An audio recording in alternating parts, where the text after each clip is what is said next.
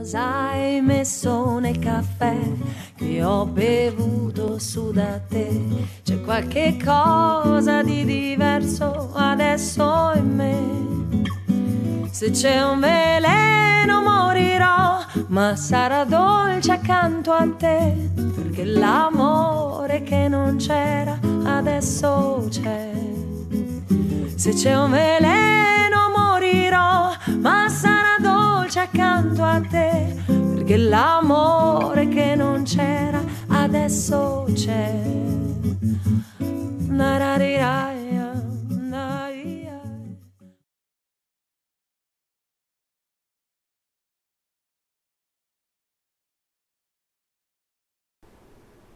Il primo appuntamento della stagione televisiva 22-23 del Caffè di TRG è dedicato allo sport, è dedicato al calcio, è dedicato al derby, di fatto all'avvicinamento al derby per la precisione che si disputerà domenica alle 16.15 al Liberati tra Ternana e Perugia. Due squadre che peraltro dopo un inizio non certo semplice vengono da un eh, sabato eh, davvero eh, di eh, grande eh, orgoglio e gioia per due vittorie che entrambi hanno ottenuto con eh, modo diverso ma eh, comunque entrambe con grande soddisfazione e che proiettano verso il, la partita di domenica prossima eh, sia Perugia che Ternana sicuramente con nuovo spirito. E parliamo proprio eh, di eh, ciò che sarà eh, il derbissimo umbro del Liberati per quanto riguarda quella che sarà anche la sesta giornata di Serie B con due firme illustri le possiamo chiamare così che seguono da vicino eh, Perugia e Ternana, Pietro Cuccaro di Umbria TV, buongiorno Pietro. Buongiorno Giacomo, buongiorno ai tuoi telespettatori. E Gianni Giardinieri che eh, invece eh, è di On TV e che eh, seguiamo sempre anche sulle nostre eh, frequenze con Che Calcio Vuoi. Buongiorno Gianni. Buongiorno Giacomo e buongiorno ai tuoi telespettatori. E allora, prima di eh, colloquiare con Pietro Cuccaro e Gianni Giardinieri, che vediamo ora qui inquadrati eh, per eh, l'appunto su Perugia e Ternana e in vista di quello che sarà poi Ternana-Perugia di domenica prossima, cominciamo proprio dalla formazione bianco-rossa che sabato ha... Ottenuto la prima eh, sofferta, bisogna dirlo, vittoria stagionale dopo un punto in quattro partite, superando l'Ascoli che peraltro aveva otto punti in classifica, eh, era ed è ancora in zona playoff in questo inizio di campionato per 1-0 al Curi, sentendo anche uno stralcio della conferenza stampa post gara di mister Castori. Perugia Ascoli al Curi per la quinta giornata di Serie B. All'undicesimo Marchigiani pericolosi con Bidawi che si mette in proprio e calcia, Gori respinge. Al trentatresimo punizione battuta velocemente da Luperini che pesca il movimento in profondità di Di Carmine che tutto solo davanti a Bauman calcia incredibilmente fuori. Al quarantesimo è Gondò a provarci sul primo palo, ancora Gori è attento. Un minuto dopo cross da destra col contagiri di Casasola. Strizzolo dimenticato dalla retroguardia bianco-nera con un gran mancino al volo trafigge Bauman Bauman per il vantaggio biancorosso che chiosa anche la prima frazione. Nella ripresa il Grifo potrebbe raddoppiare dopo 9 minuti ma Quan spreca un succoso contropiede sparando alto. Un minuto dopo ancora Perugia, Casasola mette forte in mezzo per Di Carmine chiuso da Bauman. Nel recupero Gondò cade una prima volta in area dopo un contatto con Melchiorri ma si gioca e ancora l'ex Salernitana va per le terre al limite dopo l'intervento di Quan. Per l'arbitro Piccinini di Forlì è solo calcio di punizione anche dopo il check al VAR, punizione che non porta porta benefici all'Ascoli. Primi tre punti per il Perugia, atteso ora al derby con la Ternana. Gli uomini si riconoscono nelle difficoltà, no? Nei momenti in cui tutto va bene sono tutti bravi, ecco, quando le cose vanno male che bisogna sapere uscire da... non bisogna lasciarsi un po' mh, prendere dalla emotività del momento, cercare di mantenere la lucidità. Io dico sempre, i problemi arrivano piuttosto che piangere perché arrivano i problemi, meglio stare svegli per risolverli prima possibile. Questo è un po' un mio motto per come affronto la vita, le cose e la professione.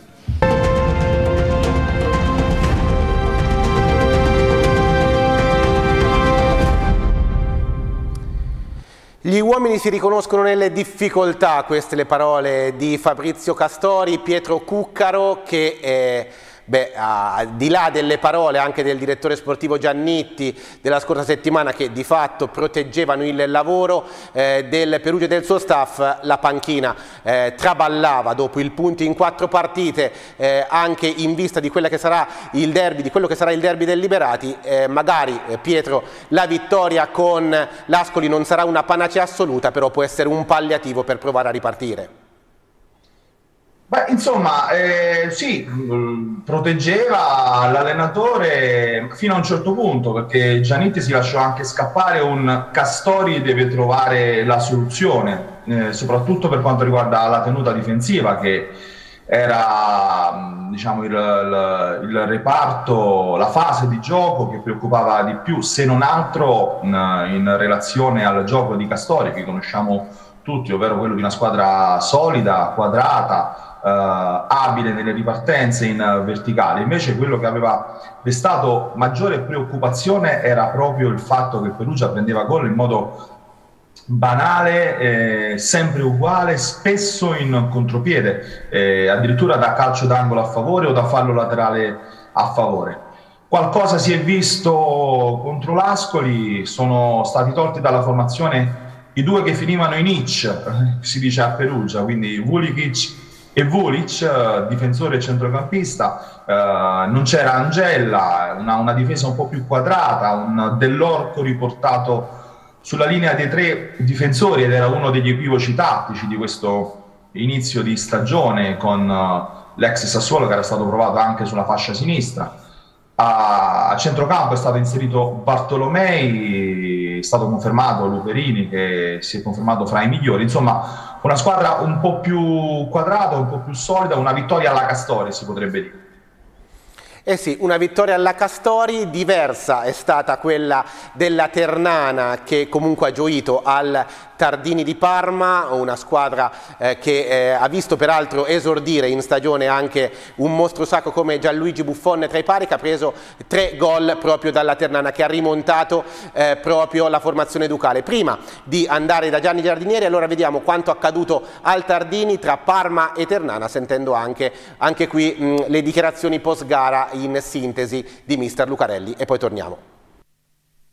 Parma Ternana al Tardini per il quinto turno di Serie B. Ducali arrembanti nella prima mezz'ora e al trentunesimo da cross di inglese Diachite chiude servendo però involontariamente del Prato che trafigge di destro al volo Iannarilli per il vantaggio parmense.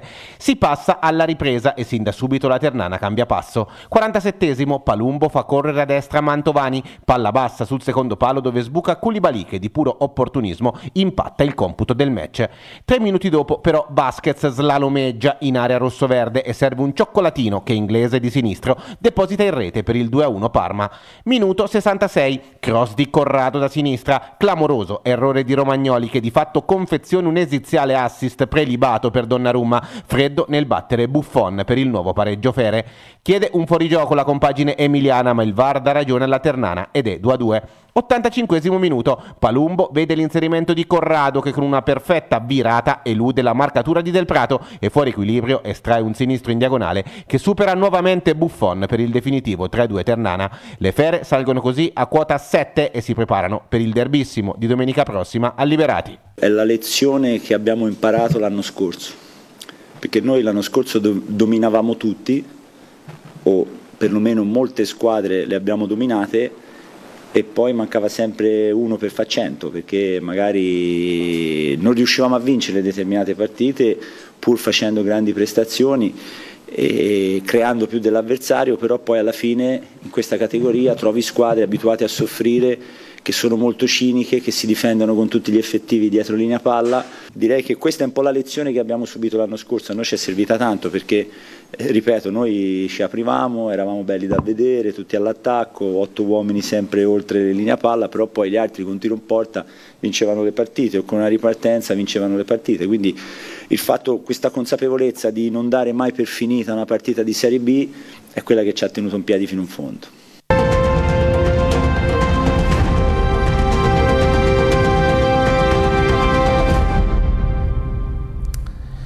Rimarcando che se il Perugia ha qualche problemino fisico e di condizione di alcuni suoi elementi, la Ternana aveva eh, di fatto fuori sette potenziali titola titolari al eh, Tardini, però anche parafrasando un po' le parole di eh, Lucarelli, Gianni Giardinieri, eh, da quando la Ternana ha vinto quel campionato strepitoso in Serie C, dunque eh, dall'inizio della nuova avventura in B lo scorso anno, sembra esserci eh, sempre questa eh, dicotomia amletiana tra l'apparire o l'essere e di solito quando, come ha detto Lucarelli, la Ternana eh, appare di meno ed è di più, fa risultato, questo almeno dice il campo.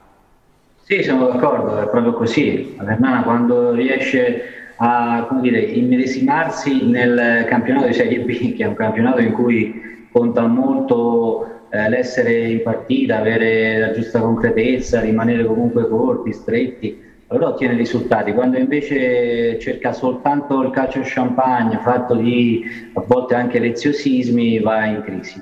Il bancomat eh, per Parma, lo, lo chiamo così, è portato bene anche stavolta perché c'è da dire che eh, nelle ultime tre partite abbiamo sempre vinto contro il Parma, addirittura ci sono delle coincidenze molto curiose perché lo scorso anno alla quinta di campionato vincemmo 3-1 contro il Parma e al ritorno al Tardini, eh, sempre l'anno scorso abbiamo fatto 3-2, quindi 3-2 lo scorso anno e 3-2 quest'anno. Quando la Ternana gioca contro squadre aperte che riescono, come dire, a che hanno voglia di giocare a calcio fa sempre bella figura. Quando trova invece squadre chiuse, come ad esempio il Cosenza o, o altre squadre, che hanno come obiettivo, come diceva Lucarelli, soltanto quello di mettersi dietro la linea della palla, allora diventa molto più complicato, la formazione rossoverde ha più difficoltà a sviscerare le sue manovre di gioco. Però eh, un, la Ternana è così, dall'era Lucarelli, prendere o lasciare. È una squadra che segna moltissimo, però subisce anche molto. E quindi va accettata per com'è, come hai detto tu Giacomo.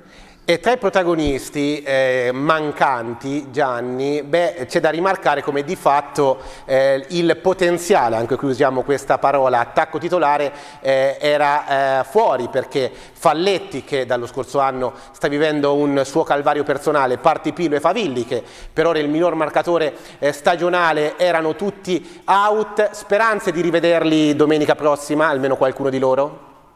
Beh, allora, eh, può darsi che Favilli dovrebbe rientrare, sembra soltanto un affaticamento muscolare, quindi non ci dovrebbero essere problemi. Falletti ha uno stiramento di primo, di primo grado, quindi di solito i tempi di recupero sono due settimane, eh, quindi siamo proprio lì, eh, probabilmente non sarà dagli 11 titolari, però potrebbe andare in panchina. Ricordiamo che Cesar Falletti viene anche dall'operazione allegamento crociato, per cui eh, sono passati soltanto sette mesi da quell'operazione e il rientro che non è stato affrettato però poi porta sempre delle conseguenze secondarie da un punto di vista muscolare. Per quanto riguarda Partipilo dovrebbe esserci, anche se non è partito neanche per Parma, quindi eh, vedremo. Mentre invece i lungodeggenti, Pettinari piuttosto che Martella non saranno, credo, sicuramente del match. E queste sono assenze naturalmente, come detto te, importanti perché tra l'altro la Ternana al Tardini di Parma probabilmente perde per il derby anche Raul Moro, il giovane preso in prestito dalla Lazio che anche lui dovrebbe aver riportato un problemino muscolare quindi per domenica sarà veramente un'emergenza totale in avanti. Eh sì, mentre per il Perugia c'è apprensione per la uh, condizione fisica, lo stato di salute di Strizzolo, due gol già in campionato per uh, l'attaccante arrivato dalla Cremonese, eh, il colpo eh, grosso diciamo così della Cremonese eh, sarebbe dovuto essere di Carmine che per adesso invece ha un po' deluso Pietro e invece Strizzolo è diventato una certezza per questo Perugia. Era il centravanti che voleva Castori lo ha detto abbastanza esplicitamente. Io credo che non ci sarà per il derby perché ha accusato un problema muscolare e sappiamo quanto siano delicati, soprattutto all'inizio stagione, questi tipi di infortuni. E credo che la migliore notizia per il Perugia in vista della Ternana è proprio perché affronta la Ternana che Gianni, che saluto, salutato anche a microfoni spenti, lo saluto anche a microfoni accesi, eh, ha sottolineato insomma, pregi e difetti delle fere, eh, proprio questo modo di giocare di eh, Lucarelli insomma ben si confà a, allo stile Castori, la peggiore notizia per la Ternana sia il fatto che Perugia abbia ritrovato questa solidità di cui parlavo prima. Credo che Strizzolo non ci sarà, uh, Di Carmine non ha segnato ma è sembrato abbastanza in palla, eh, due giorni prima che si chiudesse la sua trattativa con il Perugia era in campo a San Siro, quindi è allenato. E credo che proprio Di Carmine possa essere diciamo il punto di riferimento in avanti, a Terni, non so, magari con Juan che uh, spesso nella uh, fase di preparazione al campionato era stato provato accanto a Melchiori per la moria di attaccanti che aveva avuto il Perugia durante la preparazione, anche perché uh, credo che Castori non tocchi il centrocampo, che ha trovato finalmente una sua quadratura con questo Bartolomei che diciamo, ha preso in mano le reti nel ruolo di regista, uh, sostituendo un Buric apparso diciamo, un po' fuori dal contesto di gioco, con Luperini uh, nel ruolo di mezzale, con uno fra Santoro e Iannoni uh, dall'altro lato, insomma, accanto a Bartolomei. Con Juan che eh, incredibilmente si ritroverebbe fuori dalla formazione titolare, ricordiamo che era stato fino alle ultime ore di mercato vicinissimo alla Cremonese, uno dei pezzi pregiati uh, del Perugia, uno dei pochi con cui Santo Padre poteva fare qualche plusvalenza, si ritroverebbe ancora una volta fuori dalla formazione e anche per questo probabilmente uh, Castori potrebbe riciclarlo come diciamo seconda punta di rottura un derby dunque così giocato anche tatticamente, eh, si potrebbe giocare così tatticamente sentendo proprio le parole di eh, Gianni e, e, Pietro, ma un derby che sappiamo oltre la tecnica, la tattica, le strategie anche tanto di eh, emotivo ed emozionale. Eh, dunque volevo sentire prima Pietro e poi Gianni anche eh, su eh, come sta vivendo l'ambiente queste settimane di avvicinamento, una partita che peraltro arriva molto presto in calendario considerando che si è iniziato prima di Ferragosto eh, già con la prima giornata. Eh, Pietro, eh, è vero che questa vittoria eh, un po' abbia risollevato gli animi, però anche nell'ambiente eh, perugino, dopo l'ottimo campionato scorso culminato con i playoff e eh, anche il fattore dell'allenatore Alvini che è andato in Serie A, insomma testimonianza dell'ottimo lavoro svolto a Perugia, credo che la tifoseria sia rimasta in queste prime giornate ancora un po' eh, scottata da come è iniziato questo nuovo campionato del Perugia? Ah, senza dubbio. Più che scottata, delusa direi. Delusa, mh, sfiduciata, per certi versi disinteressata, che è una notizia a Perugia. Sappiamo tutti insomma, quanto sia calda la tifoseria perugina, complice anche i lavori al Curi che insomma, non hanno favorito gli ingressi, il clima è un po' freddo. Eh, devo dire la verità, c'era tanta fiducia in Castori, eh, che qui è, è, molto simpatico, se non altro anche per la vicinanza geografica, lui è Marchigiano, eh, ma c'era già qualche mugugno per, per, per, le cose che ti ho detto prima. Inevitabilmente la vittoria con l'Ascoli non ha risolto i problemi e non ha eh, diciamo, tolto quella patina di dubbio su Castori, è inevitabile che il derby sarà decisivo da questo punto di vista, per come finirà la partita e per come sarà affrontata la partita dal Perugia. Gianni Giardinieri, un'altra piazza sicuramente sotto questo punto di vista piuttosto umorale e che spesso segue anche gli umori del eh, suo presidente Stefano Bandecchi è quella della Ternana. Bandecchi che anche recentemente beh, ha alzato un po' la voce sia per quanto riguarda i risultati, soprattutto dopo la brutta sconfitta di Modena, ma anche un po' per i progetti collaterali, soprattutto quello legato allo stadio clinica. Sappiamo che da lì passa anche tanto di quello che è il futuro sportivo, ma non solo, proprio della Ternana Calcio. Sì, sì, eh, il presidente Bandecchi è un vulcano, come sapete bene, ama esternare spessissimo su Instagram ed è, come dire, sempre fuori dai denti nelle sue dichiarazioni, quindi rasenta sempre il filo del rasoio. È un personaggio a suo modo. Meglio così, eh? eh? Meglio così che star zitti come Santo Padre. Ah sì, sì, ma noi abbiamo avuto una gestione, sai Pietro, di almeno 15 anni con Longarini che era sostanzialmente il mutismo fatto uomo, quindi spesso non sapevamo neanche la composizione aziendale, non sapevamo praticamente nulla eh, di quello che ruotava intorno alla Ternana. Con la gestione Bandecchi è esattamente il contrario. Eh, è vero quello che diceva Giacomo, eh, contribuisce il Presidente un po' a far salire la febbre eh, in positivo e negativo nei confronti della società e della squadra. La Ternana è una di quelle realtà che ha bisogno eh, di uno stadio e il Presidente vorrebbe semplicemente fare a supporto dire, economico dell'operazione una clinica per dare la possibilità poi, sfruttando le gestali, di sostenere economicamente eh, il, il, progetto. Naturalmente poi lì ci saranno tutte le considerazioni del caso, sia da un punto di vista politico che amministrativo e immagino anche ovviamente giurisdizionale, però è evidente che da questo punto di vista lo snodo fondamentale eh, dello stadio, nuovo stadio e della clinica, eh, come dire, daranno una forte impronta a quello che sarà il futuro della società rossoverde, anche se eh, il Presidente ha sempre detto che mh, lui ha come obiettivo quello di portare la Ternana in Serie A a prescindere dalla realizzazione di questo progetto. Non a caso sta chiudendo, penso a settimane, eh, la realizzazione del nuovo impianto della società sportivo, cosiddetto Ternanello, che verrà realizzato in una bellissima zona della città e che prevede tre campi da calcio, eh, foresteria e tutto quanto occorre per una società professionistica. Il progetto è stato praticamente realizzato, l'area è stata acquistata e dovrebbero partire i lavori nel giro di pochissime settimane.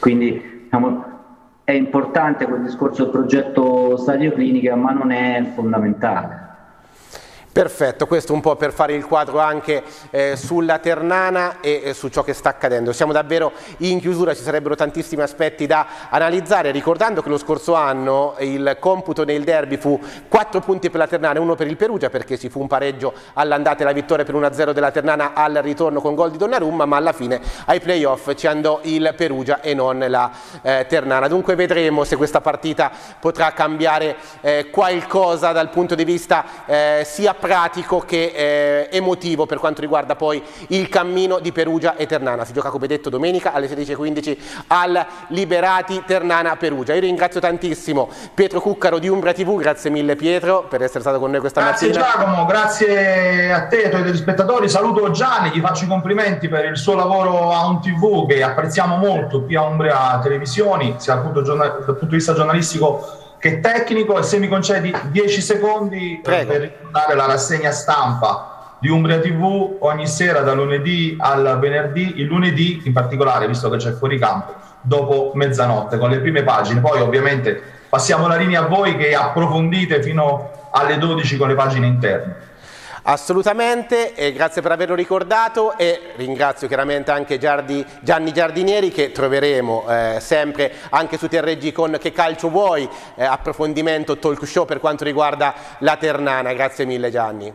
Vi saluto anch'io, ciao Pietro, ci vediamo penso a Liberati, ciao.